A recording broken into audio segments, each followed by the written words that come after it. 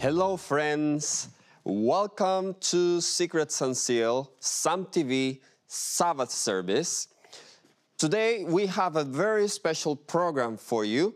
It is a program when we want to sing and praise the Lord, remembering the birth of our Savior Jesus Christ. And I would like to welcome you with the words found in the Gospel of Luke, chapter 2, verse 14, when Jesus was born.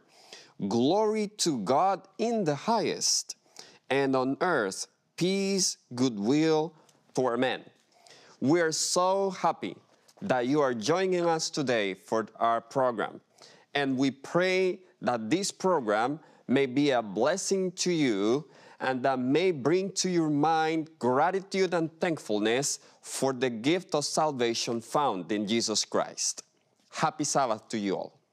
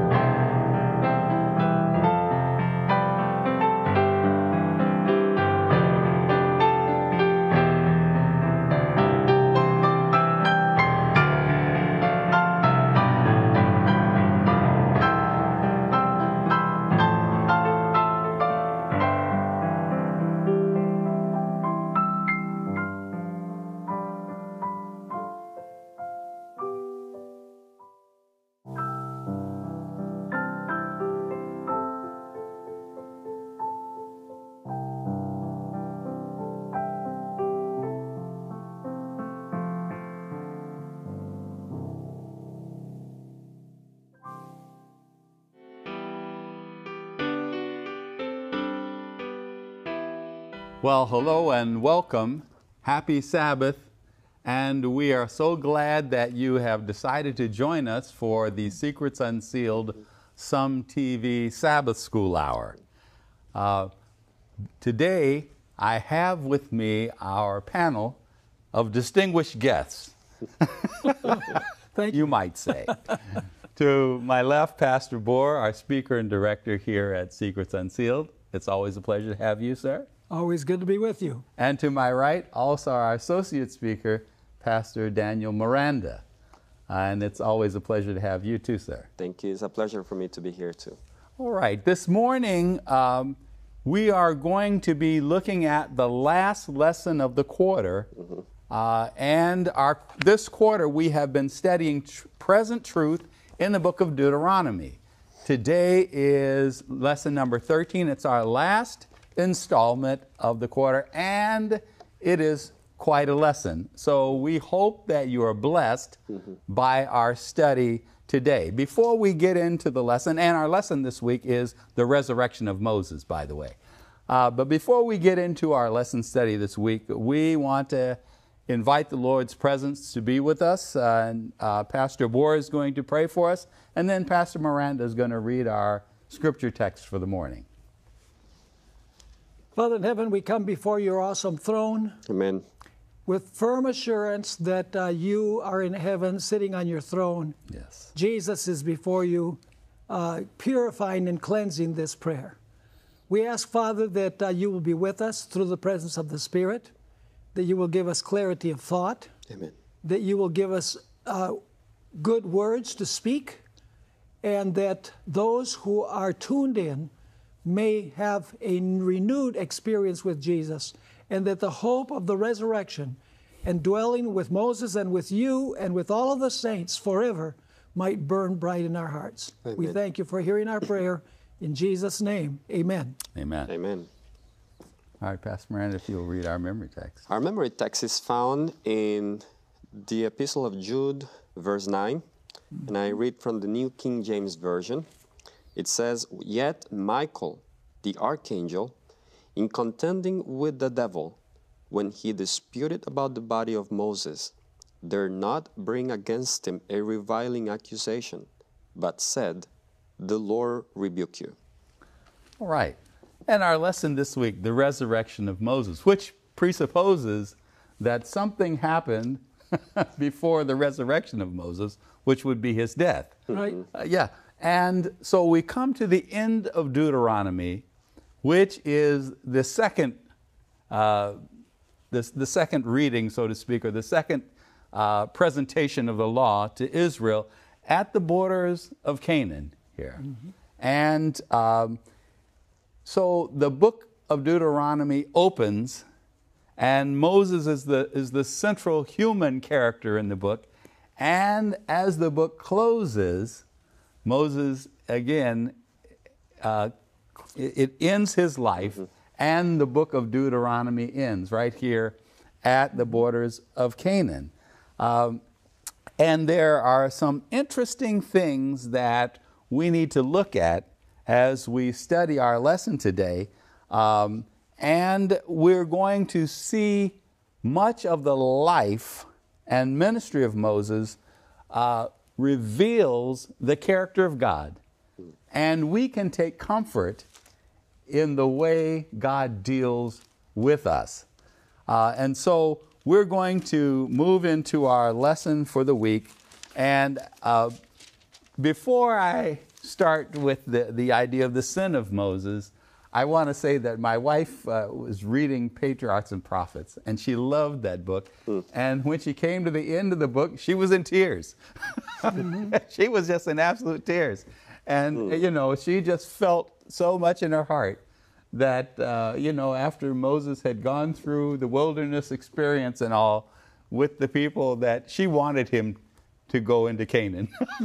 and she was just so brokenhearted that he couldn't go. Mm. But we're going to look at what kept Moses from going in, mm-hmm. uh, because you know this has to be somewhat serious. Uh, if, if you know if, if, this kept him from getting into the promised land in the earthly Canaan, mm-hmm. and so we deal with the sin of Moses, Uh, and so I thought maybe we should just start off by reading in Numbers um, chapter uh, 20. And uh, here uh, I just want to read uh, the, the, the, the, specific verses that have to do with, um, with this uh, situation that occurred.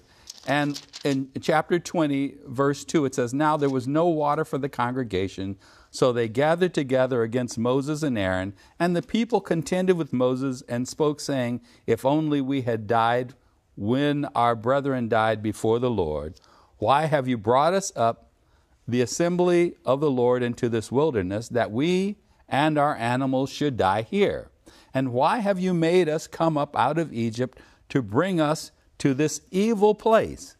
Is it not a place? It is not a place of grain or figs or vines or pomegranates, nor is there any water to drink. So Moses and Aaron went from the presence of the assembly to the door of the tabernacle of meeting, and they fell on their faces, and the glory of the Lord appeared to them. Then the Lord spoke to Moses, saying, Take the rod, you and your brother Aaron, gather the congregation together, speak to the rock before their eyes, and it will yield its water. Thus you shall bring the water for them out of the rock and give drink to the congregation and their animals. So Moses took the rod from before the Lord as he commanded him. And Moses and Aaron gathered the assembly together before the rock, and he said to them, Hear now, you rebels. Must we bring water for you out of this rock? Then Moses lifted up his hand and struck the rock twice with his rod, and water came out abundantly, and the congregation and their animals drank. Then, verse 12, the Lord spoke to Moses and Aaron, Because you did not believe me to hallow me in the eyes of the children of Israel. Therefore, you shall not bring this assembly into the land which I have given to them. Now, that's, um, that's a pretty tough. Mm. that's a pretty tough situation. Mm-hmm. That's a pretty tough situation. And so it's interesting that um, here the people are grumbling and complaining. Mm-hmm. You know, they have traversed the wilderness. You know, and this, this is not the first time they've not had water. Mm-hmm. But God has always provided for them, whether it was food or water, shelter, whether it was heat, you know, or shade from the heat. Uh, God has always provided. Yet, at this point in their journey, as they close in on the borders of Canaan, they, they lose faith. They abandon faith. Uh, and they cry out because there's no water for them to drink. Mm-hmm. Uh, and so uh, I'm wondering how you see that related to our experience today in the Christian world. Uh, what would you say, Pastor Bohr? Well, uh, before I answer that specific question, in order to fully understand this episode, we have to go to an earlier episode where they're also complaining about not having water. Yes. Uh, and that's Exodus chapter 17. Mm-hmm. Uh, you know, we don't have the time to read the entire passage, so I'll just review some of the main points. Uh, there, God told Moses to take his rod, yes, to strike the rock, mm-hmm. and the rock would give its water. So you have three symbols in that story. The first symbol, of course, is the rock. Mm-hmm. And uh, Deuteronomy 32 identifies the rock as a person. Yes. The Lord is our rock. Yes. So even Israel should have understood that that rock was not simply a rock, mm-hmm. that it symbolized a person, yes. which is the Lord. Uh, so you have the rock, and then you have the rod.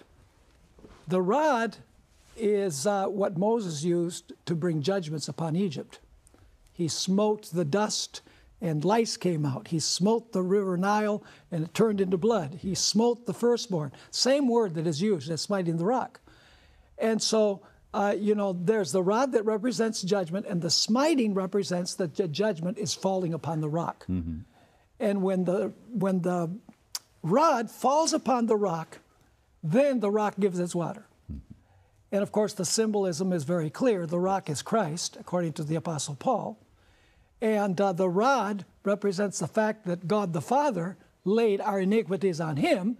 His, the judgment for us fell upon him. And the water represents the fact that because he was stricken, now he could pour out the Holy Spirit upon his people, because the water represents the Holy Spirit. Yes. So now we can understand why his sin was so great of striking the rock twice. Uh, if I could just read a quotation here from the Spirit of Prophecy, which is really powerful. Um, Ellen White wrote in Patriarchs and Prophets 4:18, "By his rash act, Moses took away the force of the lesson that God had purposed to teach.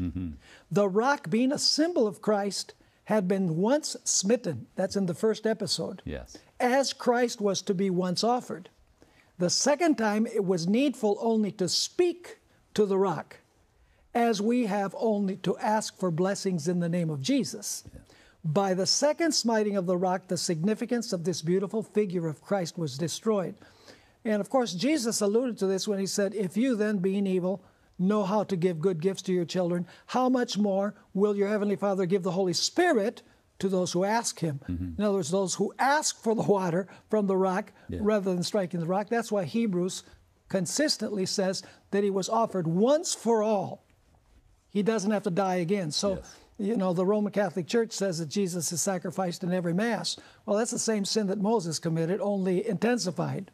So, how does this apply to us? You know, Moses took the glory for himself. Shall we mm-hmm. take water out of this rock? And he didn't give glory to God. Uh, and we can fall in the same danger today of thinking that we're great and that everything we do is glory for us when the glory belongs to the Lord. Yeah. That- but I, you know, I, there's there's something underneath that that I wanted to just kind of ferret out just for a moment, and that is, after this journey and all the miracles displayed all along, they come to a point again where there's no water, and this is not like a new episode for them because, as you pointed out, they've already experienced this before, you know, and God has not let them down. You know, uh, and therefore, you would think that He's not going to let us down now either. Yeah. But they complain, and, and they go to Moses and, and, and they complain about their condition. Right. And I'm wondering how that parallels on the borders of Canaan our situation today here on earth and on the borders of the heavenly Canaan. That is a good question. We see here that, as Pastor Bohr mentioned, the sin of Moses was so grievous because of the symbology behind it. And Moses lacked faith in that very moment. And um, when we understand the symbolism, he lacked faith in the sacrifice of Jesus Christ. He thought that he could bring water from the rock by his own works and not by just speaking to the rock. Therefore, the reason why God punished Moses uh, so hard, first of all, he was a leader. He should, not, should have known better than anyone else because God had, had used him so miraculously before. And now Moses lacked faith and he said, Shall we? Mm-hmm. But secondly, I also draw a very important lesson, and is that only those who walk by faith mm. will enter Yes. into Canaan. Yes. So what is not of faith doesn't enter into Canaan. Mm-hmm.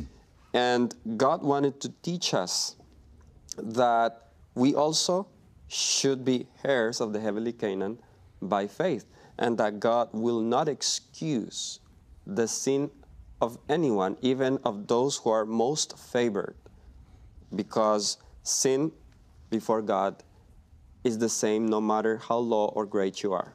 Yeah. To, to your specific question, Yes. uh, Melvin, um, you know, I was looking at the perspective of Moses, the lesson that we can learn from Moses, Mm-hmm. Yes. not giving glory to God. But the people weren't giving the, the glory to God either. Yes. Look at all of the blessings Yeah. that God has given us. Right. You know, He's given us the most wonderful message from God's Word. Mm-hmm. He's given us fantastic health principles. He's given us uh, good families. He's given us life. He's given us good health. You know, He's poured out His blessings upon us. And so many times we take the glory that belongs to Yeah. Him, and we don't realize that He is the one Mm-hmm. who is really doing all of this for us, rather than because of our ingenuity and because our, of our ability. But not only do we take the glory to ourselves, but we grumble and complain, even though our- our life has been Yeah, full of right, blessings. right. We grumble and complain when we come against an obstacle of some sort, Amen. as if God is going to abandon us. Right. You know, and He has been with us this whole journey, and and committed to seeing Right. us through. But yet we lose faith. Uh, and, and often, you know, the focus is on Moses' loss of faith, but, you know, the congregation lost faith way before Moses did. Yeah, well, you they know. lost faith for 40 years. Yes. exactly. And so Moses, you know, now, of course, uh, de- departs from his, his demonstration of the character of Christ, which is this, this undying patience and love and guidance and caring for this erring flock of that, that would be us. he loses he loses patience with them, and in so loses it breaks faith with God uh, by taking the glory of this to himself, a- as if some human could bring water from a rock. And and of course, uh, one of the interesting points I, that I looked at here, you know, back in Egypt, you remember that Moses went into Pharaoh's court with the rod and it threw it down and it became a snake. Mm-hmm. Well, the magicians also threw their rods down and they became snakes. And, and so, you know, th- th- this, this rock and rod situation, as you so well laid out, it's a matter of symbolism. I mean, th- th- there, there is the literal rod and the literal rock, but there was something much deeper Right. than that. And that was that Christ was that spiritual rock hmm. that wa- followed them in this in, in, in Exodus, and it talks about how th- this rock followed them in their journey. Mm-hmm. Yeah. Now, whether it literally followed them or not, I don't know. But but the idea is that he was with them, mm-hmm. and so his Moses' instructions to speak to the rock and that water would flow out was more than just to quench their physical thirst Yeah. they were to understand that God was for them and that He was willing to pour out heaven's blessings upon them Yeah. to benefit them. And then, of course, because they were to be a light to the Gentiles, it would flow from them outward. Yeah. You know, it's interesting that if you read the, the history of Moses from the Exodus till the borders of the promised land, there's not one sin that Moses that is recorded of Moses committing Yes. in those 40 years until that last sin where he struck the rock twice.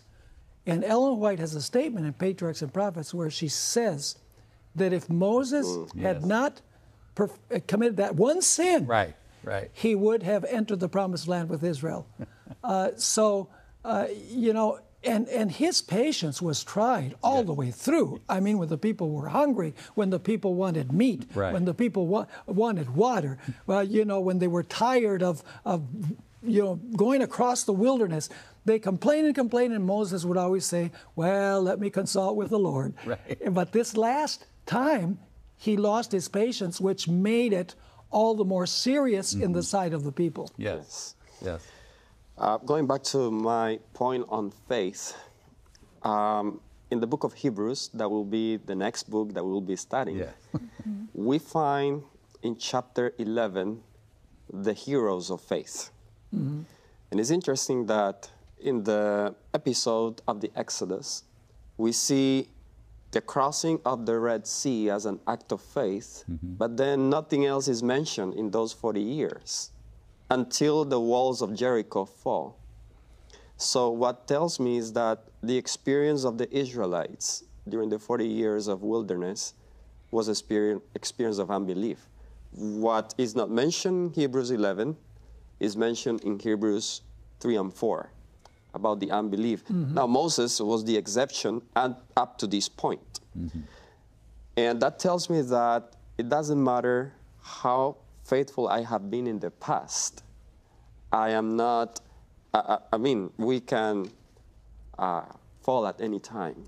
and we can dishonor God. That's why we need to keep ourselves always watching and mm-hmm. praying Yeah. because we are very susceptible. Moses himself, well, the record says, and we'll read it later, that there was not a prophet like Moses Yes. that mm-hmm. spoke with God face to face. Mm-hmm.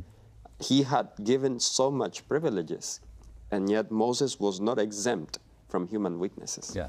And so this this kind of bespeaks of the relationship the people had with God Yeah.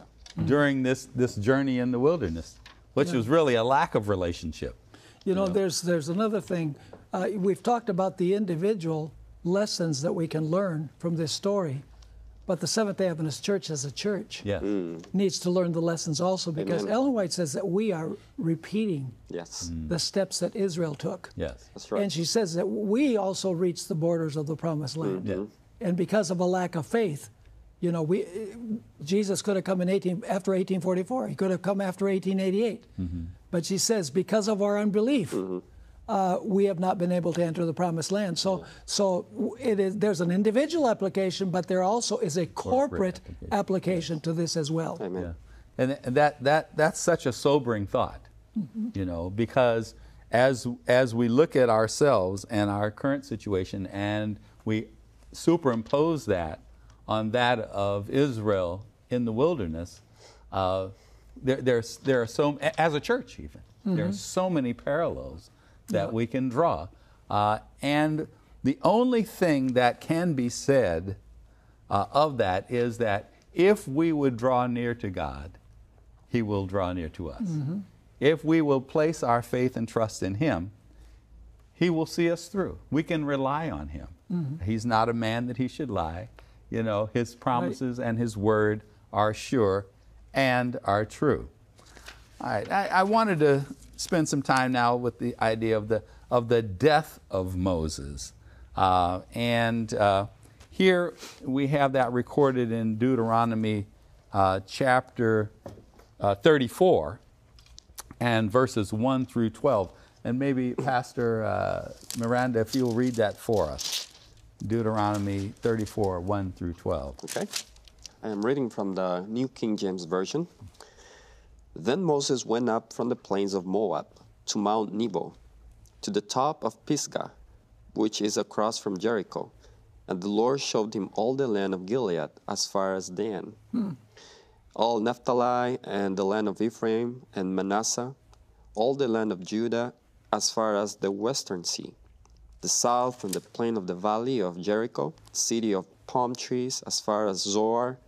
Then the Lord said to him, This is the land of which I swore to give Abraham, Isaac, and Jacob, saying, I will give it to your descendants.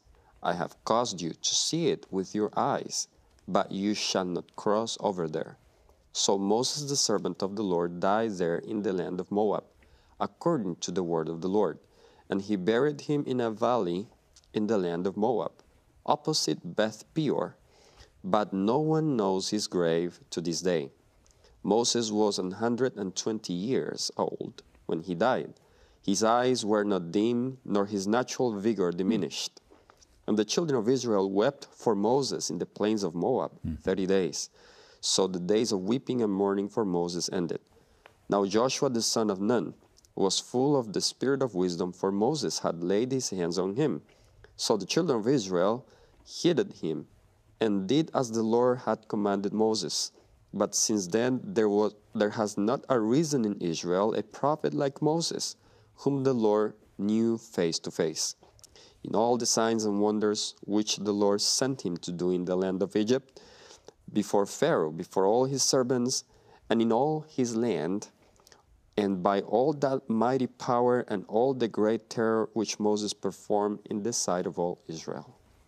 All right, interesting, interesting.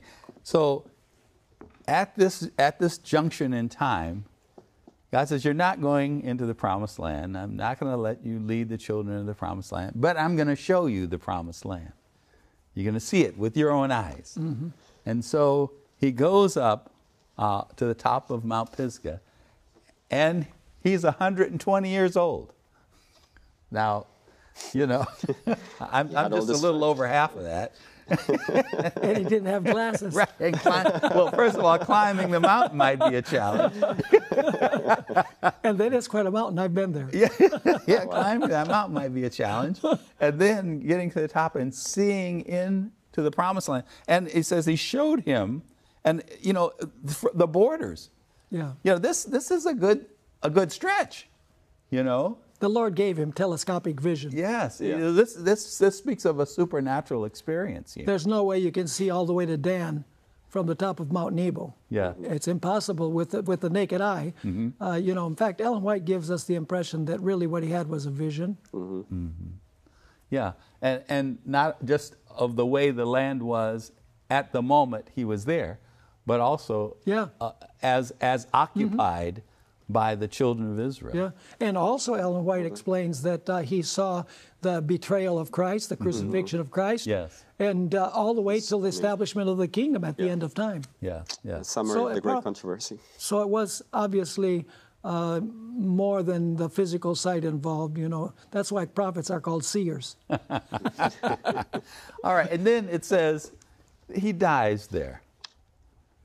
But interesting, you know, I mean, when I when I think about people in the history of Israel dying, when when Abraham dies, you know, he's he's buried there at the cave of Machpelah, you know, and and uh, Joseph dies, and he's he's he's placed in in uh, a sarcophagus or whatever there in Egypt. But he says, "Don't leave me here." They take his bones take, to the take- promised land. Yeah, take my bones out of here. And, and, you know, when you get into the promised land, I, I- you know, um, and so there are David, David is buried in Jerusalem. exactly. And you know, the recent in recent years, a crypt was found, uh, a grave where it says, "Here lies Daniel the prophet."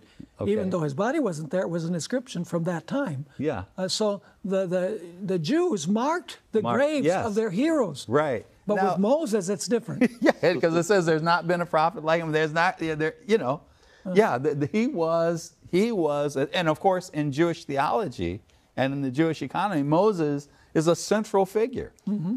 But it When says, it- God, God purposely hid the place of the burial so that the people years later would not idolize mm-hmm. the, the, the grave of Moses. Yeah. Hmm. Because, I mean, he was definitely going to become a great figure Yeah. in the history of Israel. Mm-hmm. Okay. But then it says, and he buried him. Now, the, the, the only other he, there's a Moses, he, Moses is a he, Yeah. but the only other he there is, is God. Uh, Yeah, it said the, the previous verse says, "So Moses, the servant of the Lord, died there in the land of Moab, according to the word of the Lord, and he buried him." yes, yes. but I'm, I'm, I'm supposing that God did not condescend to earth, uh, uh, descend, I should say, condescend and descend to earth to dig a hole to put Moses in. Right. Yeah, I, I'm assuming something different happened here. Yeah, actually, um, the the miracles that took place in the Old Testament that are attributed to God in the biblical text, Ellen White explains that it, that it was God through the ministry of the angels. You know, the Bible says that the Lord God took the wheels off of the chariots of Pharaoh. Uh, Ellen White explains that mighty angels took hold of the wheels and, and took them off. And even though, you know, there uh, are, there is the idea that the angels do God's biddings, uh, and they, what, what is attributed to God is often done by angels. There is also the, uh, well within the realm of possibility that God, through Christ, uh, can be involved in human affairs because we know that uh, it was Christ who appeared as an angel to Abraham before the destruction of Sodom. Uh, and so we know that Christ also is Michael the archangel and fulfills also the function of an angel at times. And Pastor, you had an idea about Michael and uh, the burial of Moses. Well, when we read the scripture, what was our memory text in Jude 9, uh, we have the idea that Michael the archangel was there present. So it is possible that uh, Christ himself, with his army, the angels, uh, were there present at the moment of the resurrection of Moses. That's a possibility. Okay. I think I think it's uh, more than a possibility. I think that it's uh, clearly revealed in Scripture that uh, Christ was there to rebuke Satan. But Ellen White makes clear that there were also angels there. The angels came to resurrect. So, you know, there's no contradiction. It's just the fact that in the Old Testament, it is Christ who is leading the heavenly hosts uh, in the affairs concerning literal Israel. When Jesus assumes a human body, he goes to heaven. He's limited by, by space because he, you know he has a human body. Yes. Then he delegates the responsibility of coordinating the, the angelic hosts to the Holy Spirit, his representative. Okay. Now, some people would say, you know, that, you know, so Moses commits this error, and grievous, no doubt, uh, but, you know, then God takes him up to- to the mountain and, and, and shows him the promised land.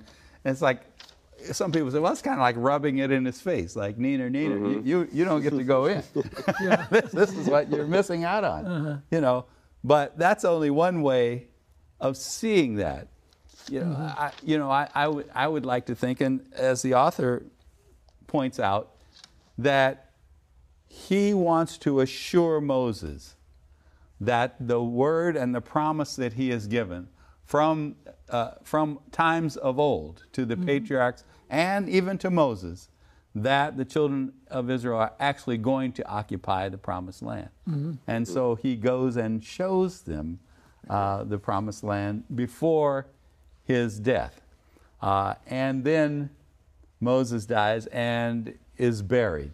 He wanted to assure Moses that he was going to pr- fulfill his promises. Yes, yes.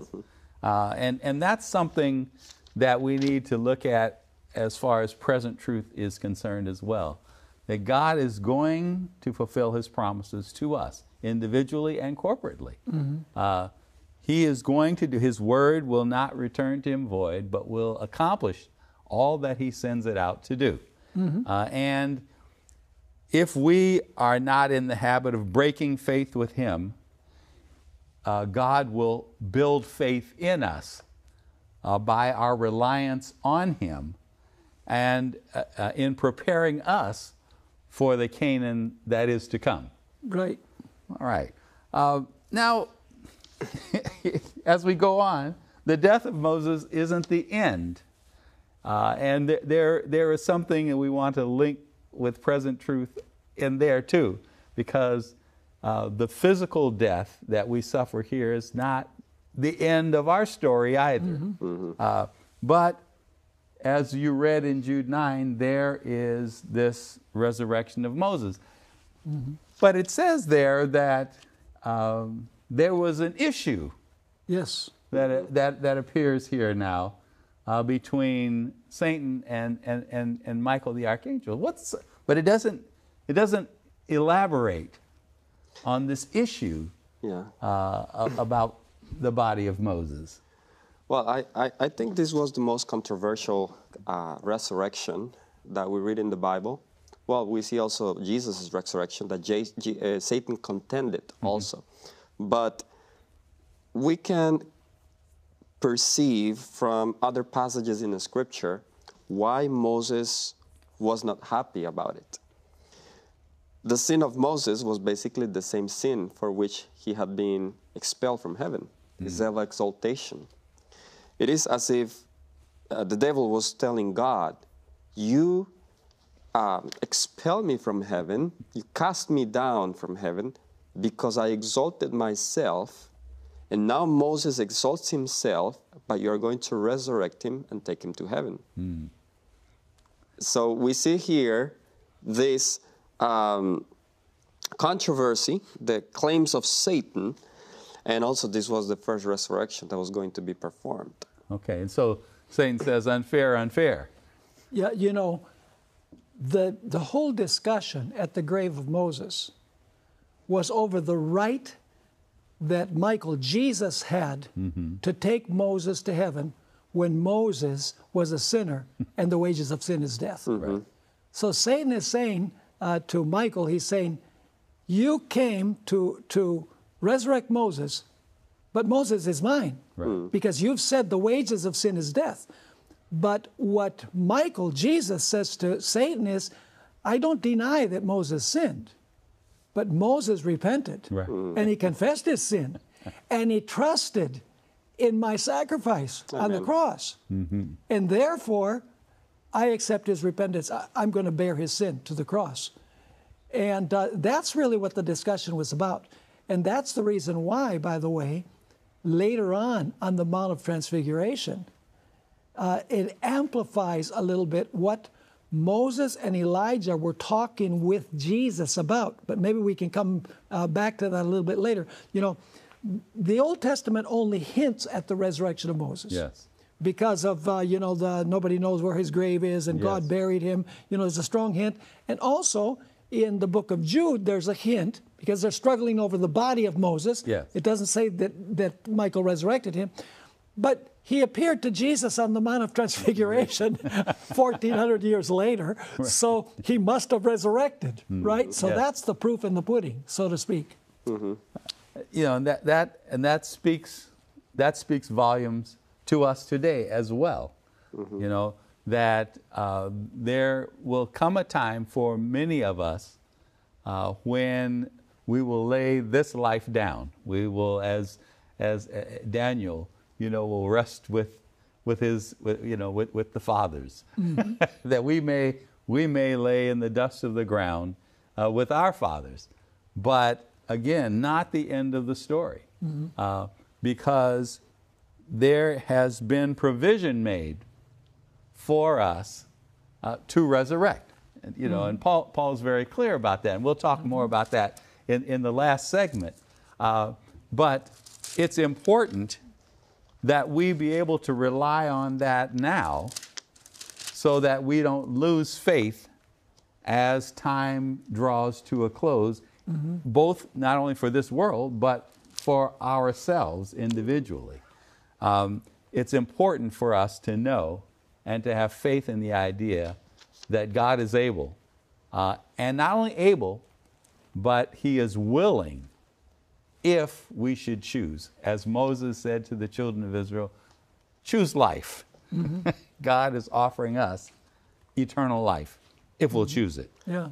You know, Matthew, Mark, and Luke both describe the transfiguration of Christ, but Matthew and Mark don't describe what they talked about. Hmm.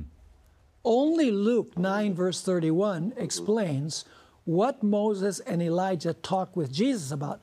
They didn't talk with the disciples who were there, which were three of them. They talked directly to Christ. And Luke 9, 31 uh, says, um, let's read verse 30 and verse 31. And behold, two men talked with him, who were Moses and Elijah, who appeared in glory, that is, in their glorified form, spoke of his decease, which he was about to accomplish at Jerusalem. That translation, decease, uh, is misleading hmm. because it's the Greek word exodos, where we get the word exodus, Exodus, from. right. And what was that? What was it that marked the beginning of the Exodus? The sacrifice of the lamb. Hmm. Mm-hmm. So what Moses and Elijah were saying to Jesus is, you know, go forward with your death. Right. You know, don't give up. Persevere. And I like to think that maybe they, they said to him, you know, because if you don't, we're going to have to get a return ticket. that's, that's my own speculation. I, ima- I imagine Moses encouraging Jesus, as I resurrected, you can resurrect because I resurrected through you. Yes. Yeah, right. Yeah. Uh-huh. Yeah. Yeah. Yeah, that's that's, Now, that's uh, Brother Melvin, I'd like to refer real quick to a question that we find on Friday's lesson in regards to the resurrection of Moses. Um, I found it pretty interesting. It says, in one sense, yes, Moses was resurrected and brought to heaven shortly after his death. But at the same time, poor Moses, we assume, gets to, wis- gets to witness the terrible mess of things down here. How fortunate that most of us will be resurrected after all the struggle on earth is over at the second coming. In what ways is this then a greater blessing than what Moses experienced? That, that's, that, that, yeah, that, that, that throws a little different slant on You know, things. that's a deep Yes. thought. You know, I, I, uh, I, I often reflect uh, on uh, a good friend of ours who was at the Fresno Central Church, uh, Brother Sam, uh, who uh, was ill and, and passed away. And uh, he has a good friend still at Central, uh, Gina Loggy. Uh, they've been friends before they became Adventists. The- the- both of them, they were friends. And uh, at his memorial service, Gene uh, said, You know, he said, I just look forward to seeing Sam on resurrection morning and telling him, Sam, how much I missed you. You know, I just really miss seeing you every day and all. And, and he said, and Sam saying to me, What are you talking about? I did. I did miss you. you know, I just, you know, I just, I fell asleep. I'm awake now. Right. A few seconds and Yeah, you know, yeah. And so, yeah, from from from uh, from different perspectives, we, we get we see different things. You know, and uh, this this sleep in death is not something to fear. Uh, And uh, even though we, in the human condition, we cling to life, uh, when our life is over on this earth, uh, in, in this present time, uh, God has something for us. Amen. Uh, he, he is going to bring us out of sleep. And, and that's such a comforting thought. It's a, such a comforting thought. Amen. Yeah, and uh, and and and after that, th- there there is no more death. Yeah. Uh, and and that's a comforting thought. Amen. no more There- blessing. Death should not be feared Yes, as long as our relationship with the Lord yes. is right. Amen. But if you're if you don't have a relationship with the Lord, you have a reason to fear. All right. So i- i- you know, some will say, well, you know, for this resurrection of Moses, how how long was it before Moses was resurrected? You know, I don't know. I, yeah, I I don't think Scripture uh, gives us uh, much information on that. No, I don't, Uh. I don't think so. You know, it's interesting. Uh, Moses was the writer, I don't like to say author, was the writer of the book of Deuteronomy. But uh, the last part, the chapter 34, obviously somebody else wrote. Because, Probably. um, because Moses could not write his obituary after he was dead. Yes. And he might, even if he could, he probably might not say there's none, not, never been one greater. True. True. Yes. He was a humble man. So let's let's talk about the resurrection uh, for for for a little bit here, uh, and uh, we- we'll talk about this idea of the parallels between uh, the children of Israel going into the earthly Canaan and uh, the present truth of, of the of the children of God, the spiritual children of Israel going in to the heavenly Canaan and uh, things that, that, that may transpire in between those two events. Uh, so, in many ways, the journey uh, of Israel from Egypt to Canaan parallel the Christian journey. Give, give us some, some points along that road. Well, you know, the, the main parallels, I think, are um, unfortunately the negative aspects of the journey across the desert. You know, you, you read uh, 1 Corinthians chapter 10, which is in our Sabbath school lesson for this week. Yes. Uh, you know, the Apostle Paul brings up several episodes in the history of Israel, negative aspects, to teach the, the Corinthians in his day, and also by extension us, that we should not fall in the same sins. Uh, you know, the sin of idolatry, the sin of covetousness, the sin of intemperance. Uh, we, is three that we could mention. And there is one particular sin before they cross Jordan, the immorality. Immorality, yes. Uh, so, so these experiences were written for our admonition upon whom the ends of the age have come. Uh, they're types. In fact, the word type is used in 1 Corinthians uh, where it says, as examples, the word is tupos in Greek. So clearly, what happened to them uh, is an illustration of the dangers that spiritual Israel faces as we advance to the heavenly promised land. Yeah, yeah. Any thoughts on that, Pastor? Well, um, speaking specifically about Moses, um, going back to the quote that Pastor Bohr referred to, that for that one sin, if he had not committed, he would have entered the land of Canaan and would have been taken. The, the, the quote goes on to say, he would have been taken to heaven without seeing death. Yes. So actually, Elijah, Moses was to be the Elijah, if you will, Or Enoch. or Enoch. Uh-huh. Uh-huh. Well, Enoch had, yeah, Yeah. Enoch had already been taken to heaven. But anyways, we think of Moses as a type of the last generation that um, God wants to have in these last days, and we know that they will be translated to heaven without seeing death. Yeah. And even though uh, sometimes I tend to think, well, as long as I make it to heaven by God's grace, I, I live it in God's hands, eh, whether I will be a martyr or part of the living. Of course, we will all be, and Ellen White says, strive with your all might to be among the 144,000. Yes. Okay? But, anyways, we see the mercy of God in his servant that even though he uh, messed up, God forgave him and still gave him eternal life. But there will be a generation today uh, like Moses, and that we may have made mistakes just about to enter Canaan, yet we can still um, be reached out by God's grace. Yes. Yes. Pe- Peter said uh, he re- reminisced upon the Mount of Transfiguration episode much later in uh, 2 Peter chapter one, where he says, "We have not believed cunningly devised fables. We saw him with our eyes, we heard him with our ears, Yeah. but he said we have a more sure word of of prophecy prophecy. than actually seeing and hearing, yes. because we have faith in the word of God." And it's interesting uh, in Desire of Ages 421 uh, Ellen White makes this remarkable statement. Upon the mount, that is the Mount of Transfiguration, the future kingdom of glory was represented in miniature. Yes. Christ the King, Moses, a representative of the risen saints, and Elijah of the translated ones. So on the Mount of Transfiguration, we have a mini kingdom. So if Moses was resurrected and if Elijah was translated, what if it already happened once? What makes us think that it's not going to happen at the end? Exactly. Right, right, right, right. and th- this is the same line of reasoning that I, that I that I see in the idea, for example, with Pharaoh in Egypt. You know, if Moses is right the first time, the second time, the third time, the fourth time, what makes you think he's going to miss? Yeah. you know, when, when he's, Right. but yeah.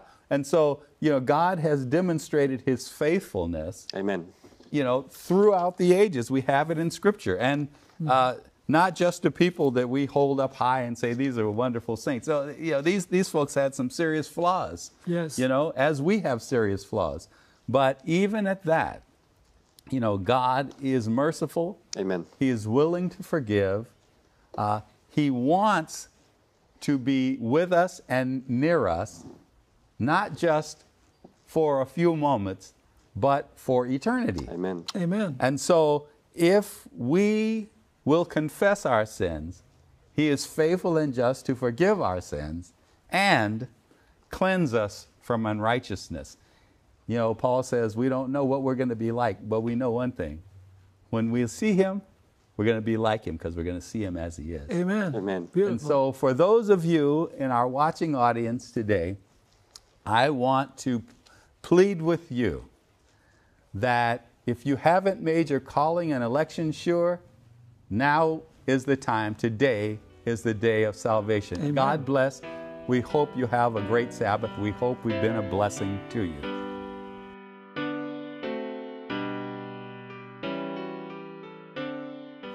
Come join with us singing hymn number 119 Angels from the Realm of Glory.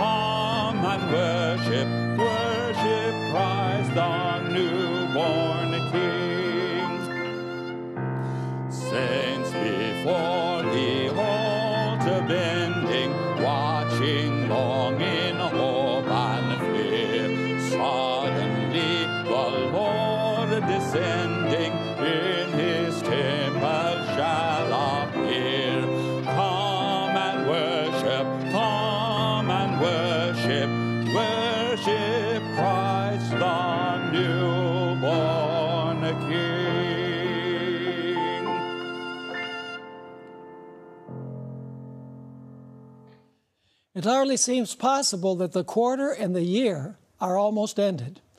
I don't know about you, I was greatly blessed by the beautiful Sabbath school lesson for this Sabbath. We look forward to that blessed hope of being with Jesus forever as Moses is now. Before we begin the worship service today, we want to ask the Lord to be present in our service. So I invite you reverently to bow your heads as we pray. Father in heaven, we thank you for the glorious hope of the second coming of Jesus Christ. What would it be like to live in this world if we didn't have that glorious hope? I ask, Lord, that you will bless the worship service today, that you will bless our singing, that you will bless the readings, and Lord, help us long for that day when Jesus will return and we will spend eternity with him. Thank you for hearing and answering our prayer, for we ask it in the precious name of Jesus. Amen.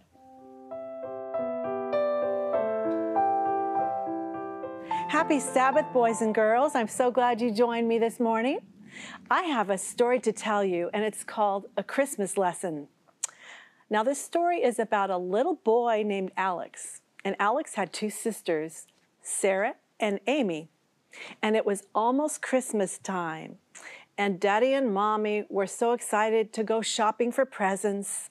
And the little kids were so excited about Christmas and all the lights and all the cookies and all the fun things that were happening at that time. Now, mommy and daddy went shopping and they bought some presents. And one of the presents they bought for each of their three children was a Bible. And so they took the Bibles home and they were wrapping the presents. And one thing they were a little concerned about, they talked about it as they wrapped the presents they were a little worried about Alex. Now, Alex was going to school and he had picked up some words that were not very nice. There were some bad words.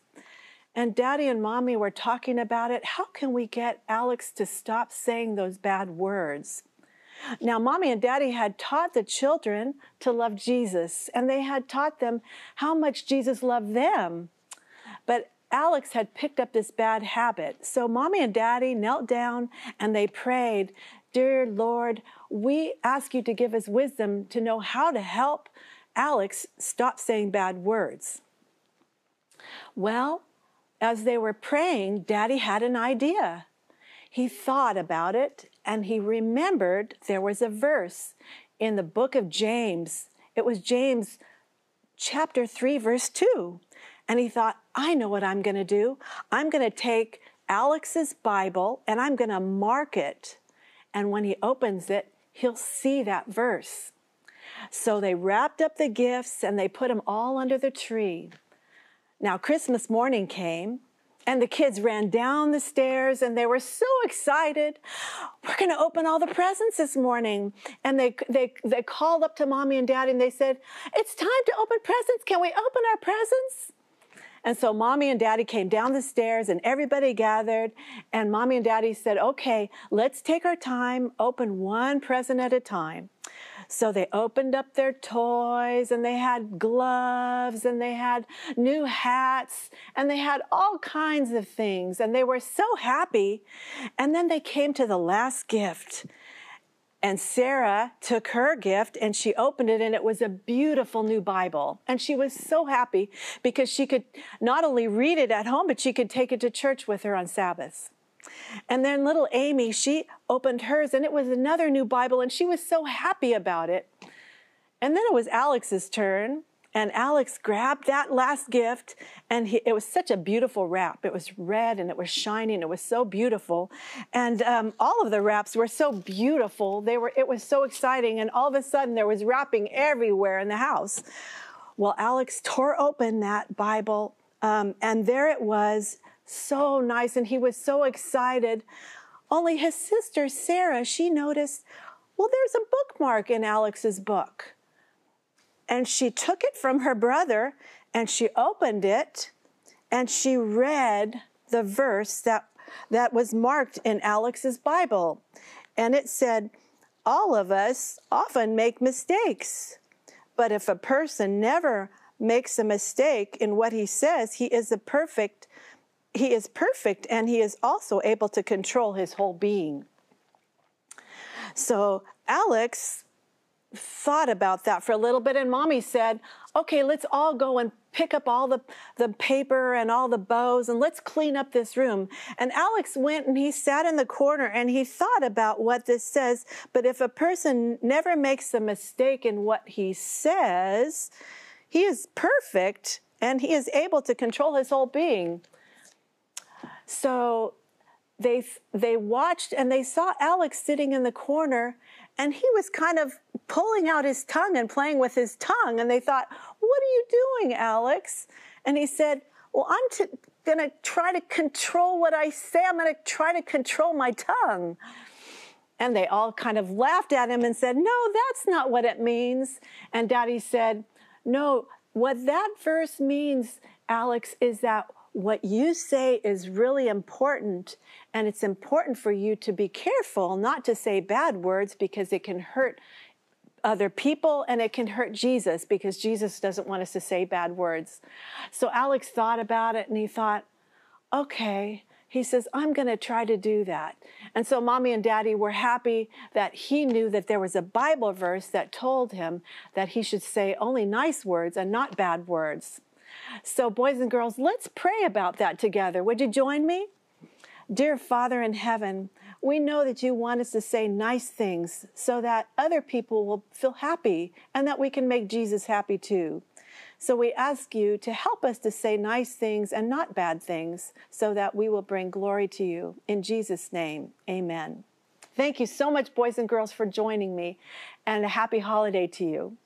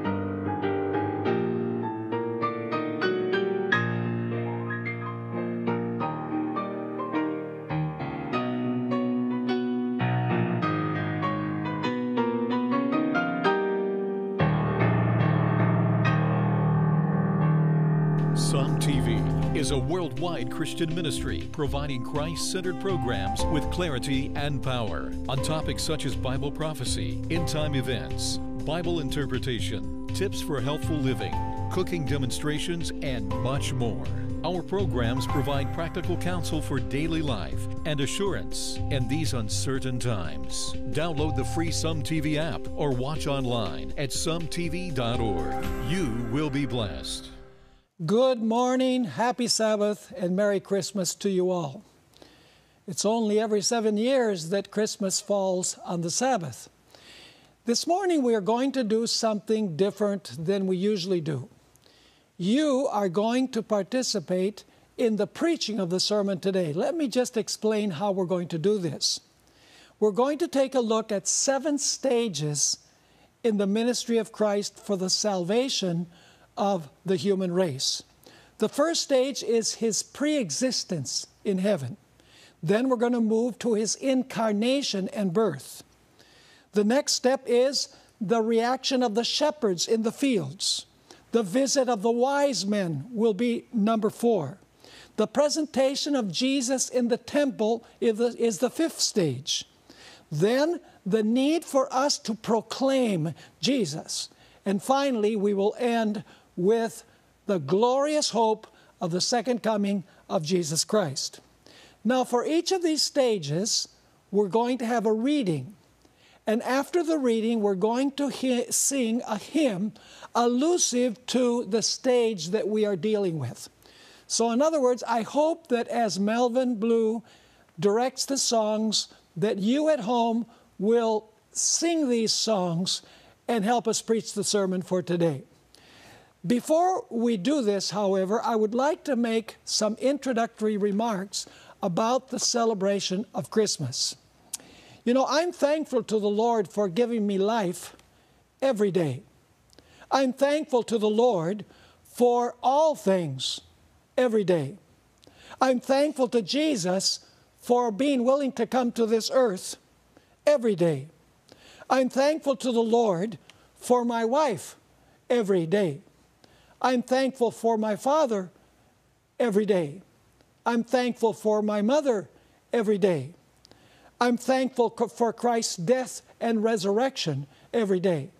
However, this does not mean that we cannot dedicate a special day to recognize all of these things that we are thankful for.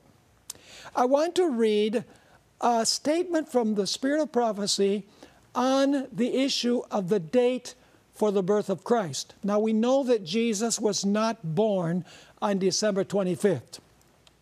Let me read the statement and then I'll read you some additional statements about Ellen White's view of the celebration of Christmas. Christmas is coming is the note that is sounded throughout our world from east to west and from north to south.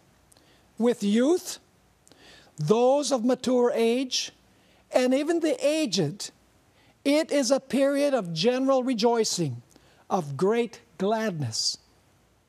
But what is Christmas that it should demand so much attention? The 25th of December is supposed to be the day of the birth of Jesus, and its observance has become customary and popular. But yet, there is no certainty that we are keeping the veritable day of our Savior's birth. History gives us no certain assurance of this. The Bible does not give us the precise time. Had the Lord deemed this knowledge essential to our salvation, He would have spoken through His prophets and apostles that we might know all about the matter. But the silence of the Scriptures upon this point evidences to us that it is hidden from us for the wisest purposes. In His wisdom, the Lord concealed the place where He buried Moses. God buried him, and God resurrected him and took him to heaven. This secrecy was to prevent idolatry. He against whom they rebelled while he was in active service, whom they provoked almost beyond human endurance, was almost worshiped as God after his separation from them by death. For the very same purpose, he, that is God, has concealed the precise day of Christ's birth, that the day should not receive the honor that should be given to Christ as the Redeemer of the world. One to be received, to be trusted, to be relied on as He who could save to the uttermost all those who come to Him. The soul's adoration should be given to Jesus as the Son of the infinite God. This is from the book The Adventist Home, pages 477 and 478. So the question is can we celebrate Christmas, the birth of Christ, when we don't know when Jesus was born? How did Ellen White look at the celebration of Christmas? I'm going to read several statements now. The first has to do with the Christmas tree. There's a lot of debate about the Christmas tree, whether it's acceptable or not. You know, uh, it was a pagan symbol in antiquity. How do we uh, deal with this issue of the Christmas tree? Well, Ellen White had no objections to it. In the book Adventist Home, page 482, she wrote, Letters of inquiry have come to us asking, Shall we have a Christmas tree? Will it not be like the world? Now, notice her answer. We answer, You can make it like the world if you have a disposition to do so. Or you can make it as unlike the world as possible. There is no particular sin in selecting a fragrant evergreen and placing it in our churches, but the sin lies in the motive which prompts to action and the use which is made of the gifts placed upon the tree. The tree may be as tall and its branches as wide as shall best suit the occasion. But let its boughs be laden with the golden and silver fruit of your beneficence, and present this to him as your Christmas gift. Let your donations be sanctified by prayer. Now, there are two different ways of celebrating Christmas according to the Spirit of Prophecy. One way is to celebrate it the way the world does, and the other way is to celebrate it the way in which brings honor and glory to the Lord. I want to read from the Review and Herald, December 23, 1890, where Ellen White describes the wrong way of observing this season of the year. This is what she wrote Our birthday anniversaries and Christmas and Thanksgiving festivals are too often devoted to selfish gratification when the mind should be directed to the mercy and loving kindness of God. God is displeased that His goodness, His constant care, His unceasing love are not brought to mind on these anniversary occasions. The anniversary occasions that she's mentioned are birthdays, Christmas, and Thanksgiving. She says many times these are, are celebrated in a selfish manner. In another statement that we find in Review and Herald, December 11, 1879, she wrote this Thousands of dollars will be worse than thrown away upon the coming of Christmas and New Year's in needless indulgences. But it is our privilege to depart from the customs and practices of this degenerate age. That's the wrong way of observing this season of the year. She continues, and instead of expending means, means merely for the gratification of the appetite, or for needless ornaments or articles of clothing, we may make the coming holidays an occasion in which to honor and glorify God. So, in other words, the manner and motive of the observance of the season determines whether it is a correct or an incorrect observance.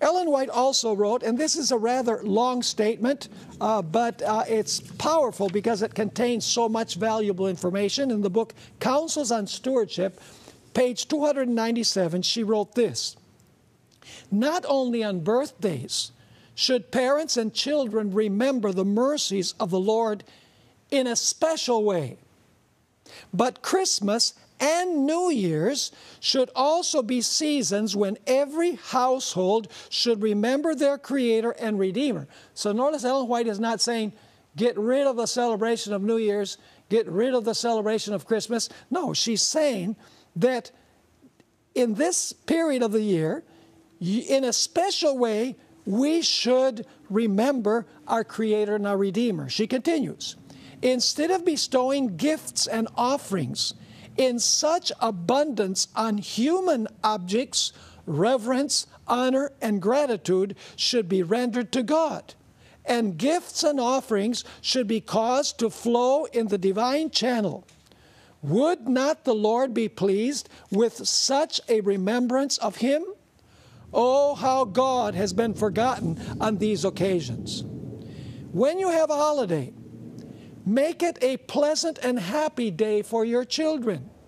And make it also a pleasant day for the poor and the afflicted. Do not let the day pass without bringing thanksgiving and thank offerings to Jesus. Let parents and children now make earnest effort to redeem the time and to remedy their past neglect. Let them follow a different course of action from that which the world follows. So notice once again, she's saying the world observes Christmas in one way, whereas God uh, accepts a different way of observing this particular period of the year. She continues There are many things which can be devised with taste and cost, far less than the unnecessary presents that are so frequently bestowed upon our children and relatives, and thus courtesy can be shown and happiness brought into the home. You can teach your children a lesson while you explain to them the reason why you have made a change in the value of their presents, telling them that you are convinced that you have hitherto considered their pleasure more than the glory of God. Tell them that you have thought more of your own pleasure and of their gratification and of keeping in harmony with the customs and traditions of the world in making presents to those who did not need them than you have of advancing the cause of God. Like the wise men of old, you may offer to God your best gifts and show by your offerings to Him that you appreciate His gift to a sinful world. Set your children's thoughts running in a new, unselfish channel by inciting them to present offerings to God for the gift of His only begotten Son. So it's a matter of motive and it's a matter of focus, according to the spirit of prophecy. I want to share with you a couple interesting uh, quotations from Ellen White where she actually celebrated a Christmas. Uh, the first uh, was at the Battle Creek Tabernacle. For many years, the largest and most influential church in the Seventh day Adventist Church in early Adventism. In manuscript 24, December 25, 1889, in her diary, she wrote the following Last night, the Christmas celebration was held in the tabernacle. That's the Battle Creek Tabernacle. And it passed off well. Now, notice how it was observed modestly, solemnly, and with gratitude expressed in everything done and said. Notice the focus. Because Jesus, the Prince of Life, had come to our world a babe in Bethlehem to be an offering for sin. So notice the focus on Jesus. She also described a Christmas celebration in Australia. This is found in Bible Echo, January 1, 1892. She wrote this about a Christmas Day celebration. On Christmas Day, our hall was full. Many had come in from Sydney, Adelaide, Ballarat, and the smaller churches.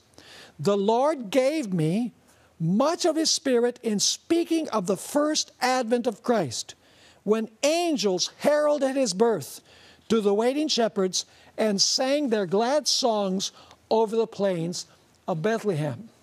You know, I looked up in the Ellen White CD-ROM the word Christmas, and it's used 117 times, of course, with duplicates depending on what book you're reading from. But evidently, Ellen White did not have any problem with a special celebration this season of the year as long as the motivation was to bring honor and glory to Jesus, as long as the focus was on giving honor and glory to Jesus. Unfortunately, in the world today, this is not the focus. The focus is on partying, the focus is on buying expensive gifts and receiving expensive gifts. The focus is far away from Jesus, His honor and glory, and the focus is upon the selfish motives and desires of human beings. As I mentioned, in our study today, we're going to focus only and exclusively on Jesus. We're going to take a look at his pre existence, at his incarnation and birth, the visit of the angels to the shepherds in the fields, the visit of the wise men to the city of Jerusalem searching for the Messiah, the presentation of Jesus in the temple, the need to proclaim the wonders of Jesus to the world, and the glorious hope of the second advent of Jesus Christ in power and great glory. As I conclude my opening remarks, I would like to just announce that we will continue next year with uh, Sabbath school and worship service on a weekly basis. But you're going to see a new look, a new backdrop. And uh, it's going to be focused exclusively on present truth, exclusively on the need to proclaim the three angels' message to the church and to the world. We appreciate your prayers and your financial support. Most people cannot afford satellite and cable television. It's very expensive. So we now are broadcasting on free to air television, also known as over the air television, from Bakersfield to Modesto, the, almost the entire Central Valley of California, free of charge to those who are not able to afford satellite and cable television. It's channel 7.10 in English, and very, very soon we will be broadcasting on channel 7.11 in Spanish. We are also presently broadcasting all across the UK, the United Kingdom. And uh, as funds permit, in the future, we are planning on broadcasting in different places in the United States as well as abroad so that the message for this time can get to the world. We, for many years, were a production ministry. We produced programming to air on other television channels, other ministries. But now the Lord has blessed us with the financial resources to become a broadcasting ministry as well. Once again, we appreciate your prayers for Secrets Unsealed and for Some TV. And we also greatly appreciate your financial contributions, which help us take present truth to the church and to the world, something that is desperately needed at this time of human history as we near the end of the world, as we see the signs that are transpiring around us every hour of every day. Once again, thanks for joining us for our worship service today. And please sing the hymns with the utmost enthusiasm. Help us preach this sermon that brings honor and glory to Jesus Christ as our Savior and as our Lord. God bless. But you, Bethlehem Ephrathah, though you are little among the thousands of Judah, yet out of you shall come forth to me the one to be ruler in Israel whose goings forth are from of old, from everlasting. He is the image of the invisible God, the firstborn over all creation. For by him all things were created that are in the heaven and that are on earth, visible and invisible, whether thrones or dominions or principalities or powers. All things were created through him and for him, and he is before all things, and in him all things consist. God, who at various times and in various ways spoke in times past to the fathers by the prophets, has in these last days spoken to us by his Son, whom he has appointed heir of all things, through whom also he made the worlds. And now, O Father, glorify me together with yourself, with the glory which I had with you before the world was.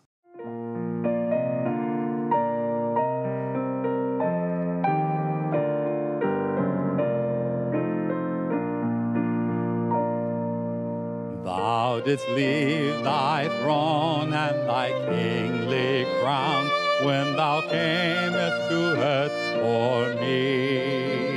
But in Bethlehem's home was there found no room for thy holy nativity. Oh, come to my heart, Lord Jesus, there is room in my heart for Heaven's arches rang when the angels sang, proclaiming the royal decree. But of lowly birth did thou come to earth, and in greatest humility. Oh, come to my heart, Lord Jesus, there is room in my heart for The foxes found rest and the birds their nest in the shade of the forest tree.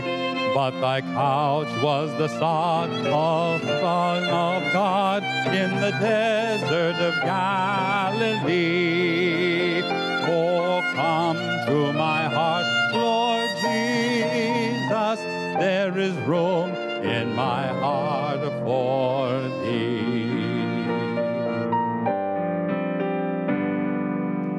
Thou camest, O Lord, with the living word that should set thy people free. But with mocking scorn and with crowns of thorns, they bore thee to Calvary.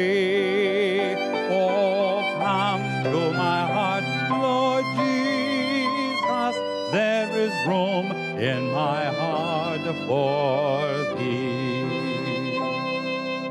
When the heavens shall ring and the angels sing at thy coming to victory, let the voice call me home, saying, Yet there is room, there is room by my side for thee. Oh, come to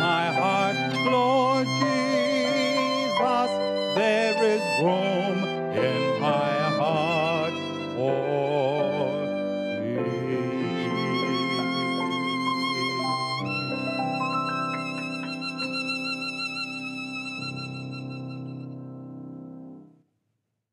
For unto us a child is born, unto us a son is given, and the government will be upon his shoulder, and his name will be called Wonderful, Counselor, Mighty God, Everlasting Father, Prince of Peace. Of the increase of his judgment and peace, there will be no end upon the throne of David and over his kingdom, to order it and establish it with judgment and justice. From that time forward, even forever, the zeal of the Lord of hosts will perform this. Now, the birth of Jesus was as follows. After his mother Mary was betrothed to Joseph, before they came together, she was found with child of the Holy Spirit. Then Joseph, her husband, being a just man, and not wanting to make her a public example, was minded to put her away secretly. But while he thought about these things, behold, an angel of the Lord appeared to him in a dream, saying, Joseph, son of David, do not be afraid to take to you Mary your wife, for that which is conceived in her is of the Holy Spirit. And she will bring forth a son, and you shall call his name Jesus, for he will save his people from their sins. So all this was done that it might be fulfilled which was spoken by the Lord through the prophet, saying, Behold, the virgin shall be with child and bear a son, and they shall call his name Emmanuel, which is translated God with us.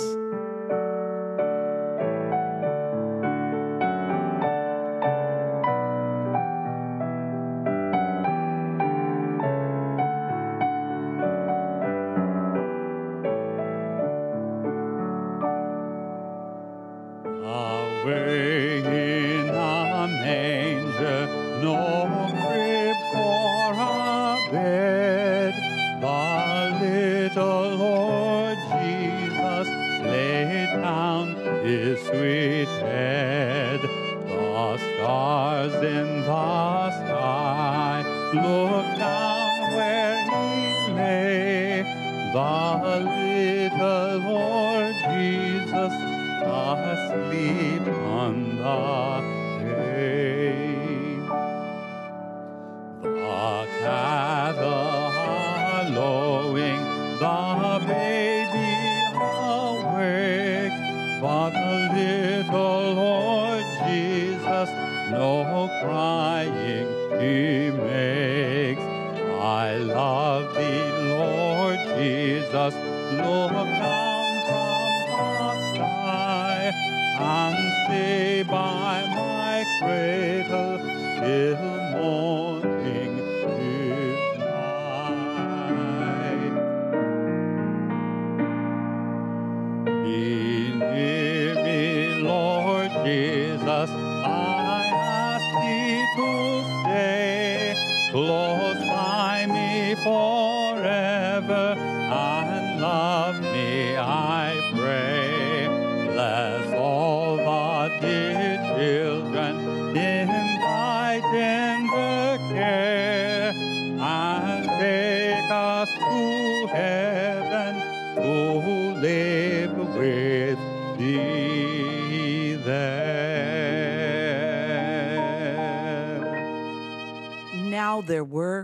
same country shepherds living out in the fields, keeping watch over their flock by night.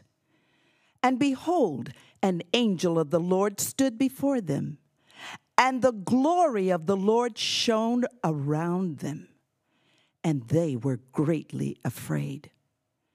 Then the angel said to them, Do not be afraid, for behold, I bring you good tidings of great joy, which will be to all people. For there is born to you this day in the city of David a Savior who is Christ the Lord. And this will be the sign to you. You will find a babe wrapped in swaddling clothes, lying in a manger. And suddenly there was with the angel a multitude of the heavenly host, praising God and saying, Glory to God in the highest, and on earth peace, goodwill toward men.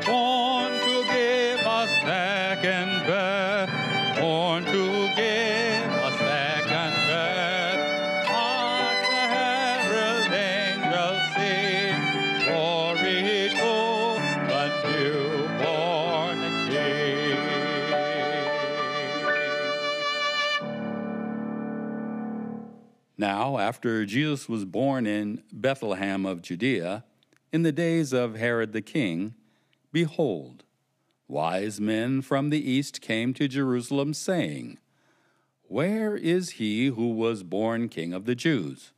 For we have seen his star in the east and have come to worship him. When Herod the king heard this, he was troubled, and all Jerusalem with him.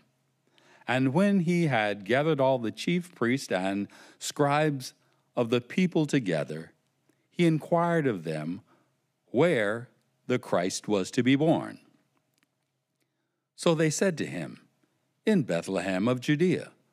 For thus it is written by the prophet, But you, Bethlehem, in the land of Judah, are not the least among the rulers of Judah.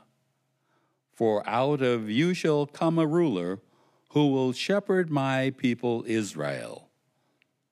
Then Herod, when he had secretly called the wise men, determined from them what time the star appeared.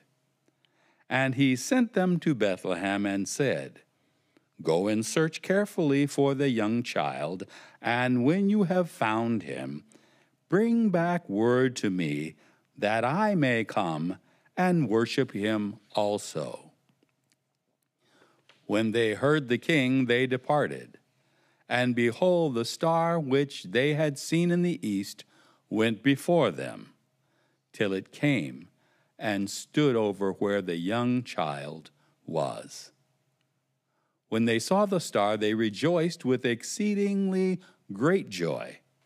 And when they had come into the house, they saw the young child with Mary his mother, and fell down and worshipped him. And when they had opened their treasures, they presented gifts to him gold, frankincense, and myrrh.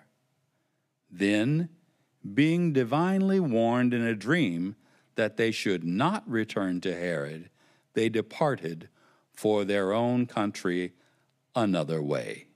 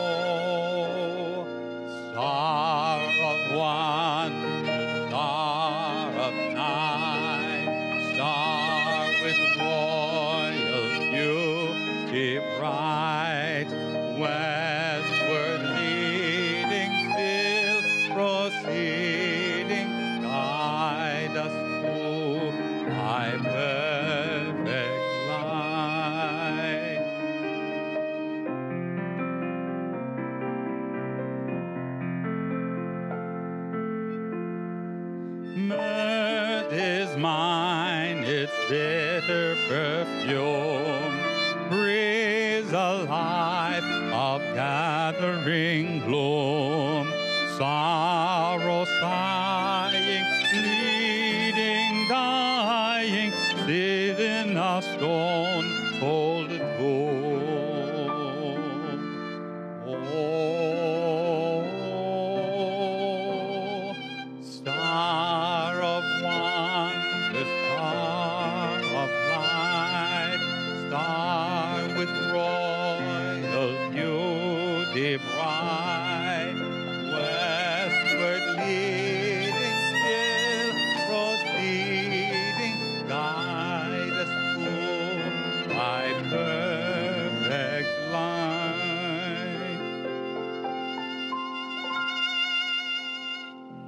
Now, when the days of her purification, according to the law of Moses, were completed, they brought him to Jerusalem to present him to the Lord, as it is written in the law of the Lord. Every male child who opens the womb shall be called holy to the Lord, and to offer a sacrifice according to what is said in the law of the Lord a pair of turtle doves or two young pigeons. And behold, there was a man in Jerusalem whose name was Simeon. And this man was just and devout, waiting for the consolation of Israel, and the Holy Spirit was upon him. And it had been revealed to him by the Holy Spirit that he would not see death before he had seen the Lord's Christ. So he came by the Spirit into the temple. And when the parents brought in the child, Jesus, to do for him according to the custom of the law, he took him up in his arms and blessed God and said, Lord, now you are letting your servant depart in peace according to your word. For my eyes have seen your salvation, which you have prepared before the face of all peoples, a light to bring revelation to the Gentiles and the glory of your people, Israel.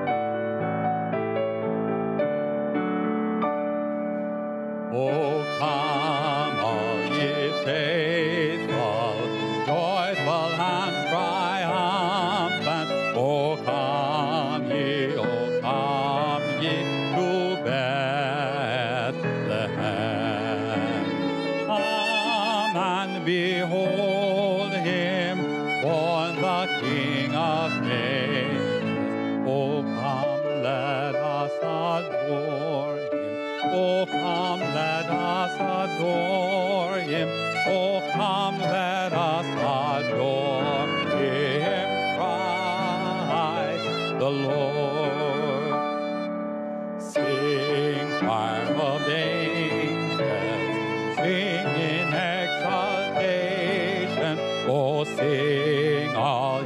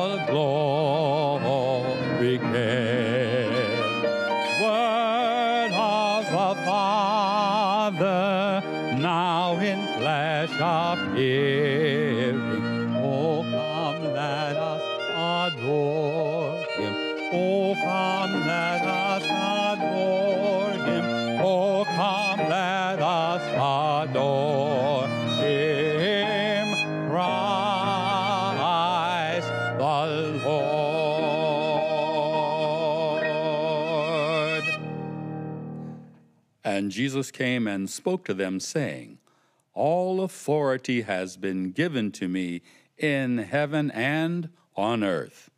Go ye therefore and make disciples of all the nations, baptizing them in the name of the Father and of the Son and of the Holy Spirit, teaching them to observe all things that I have commanded you. And lo, I am with you always, even to the end of the age. Amen. Therefore, when they had come together, they asked him, saying, Lord, will you at this time restore the kingdom to Israel? And he said to them, It is not for you to know times or seasons which the Father has put into his own authority. But you shall receive power when the Holy Spirit has come upon you. And you shall be witnesses to me in Jerusalem and in all Judea and Samaria and to the end of the earth.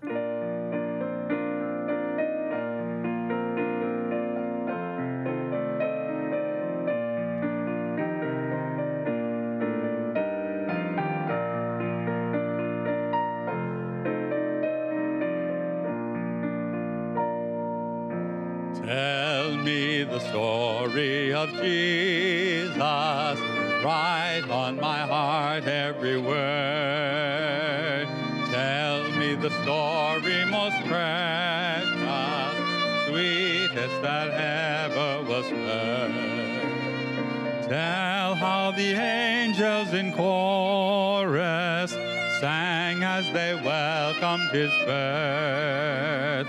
Glory to God in the highest, peace and good tidings to earth. Tell me the story of Jesus, write on my heart every word. Tell me the story most precious, sweetest that ever was fasting alone in the desert. Tell of the days that are past. How for our sins he was tempted, yet was triumphant at last. Tell of the years of his labor. Tell of the sorrows he bore. He was despised and afflicted, homeless rejected and poor. Tell me the story of Jesus, write on my heart every word. Tell me the story most precious, that ever was heard. Tell of the cross where they nailed him, writhing in anguish and pain. Tell of the grave where they laid him, tell how he liveth again. Loved in that story so tender,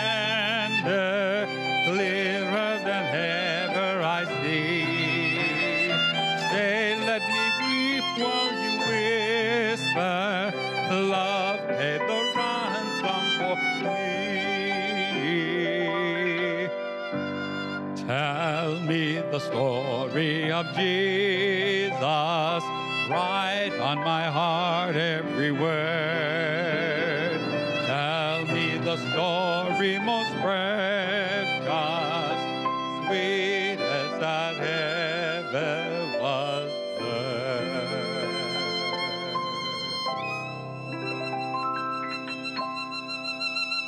For this we say unto you by the word of the Lord, that we which are alive and remain unto the coming of the Lord shall not prevent them which are asleep.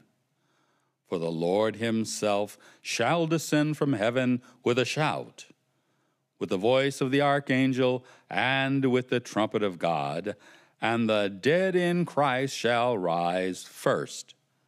Then we which are alive and remain shall be caught up together with them in the clouds to meet the Lord in the air, and so shall we ever be with the Lord. Behold, what manner of love the Father has bestowed on us, that we should be called children of God.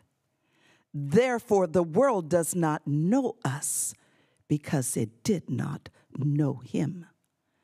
Beloved, now we are children of God, and it has not yet been revealed what we shall be. But we know that when he is revealed, we shall be like him, for we shall see him as he is. And everyone who has this hope in him purifies himself just as he is pure.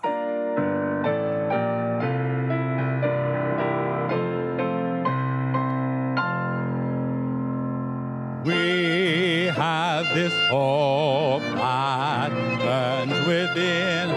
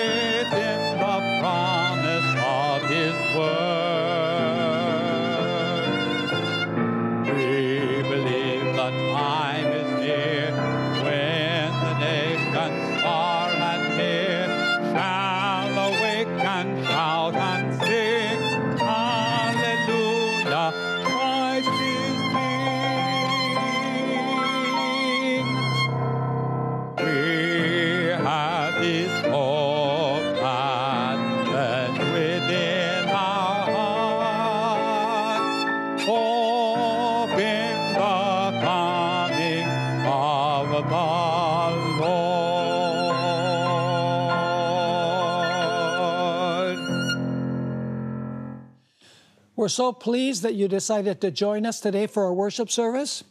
Thank you for singing along with us. And thank you so much for your support of Secrets Unsealed. We want to end this service with a word of prayer. So I invite you reverently to bow your heads as we seek the Lord in prayer. Father in heaven, we come before your awesome throne, and we come boldly because we come in the name of Jesus.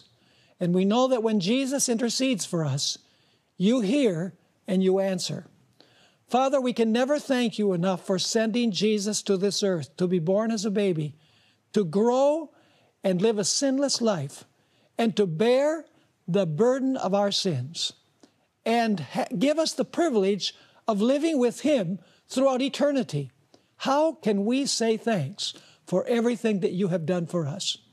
We will praise you and honor you throughout the ceaseless ages of eternity for your goodness, your love, and your mercy toward us.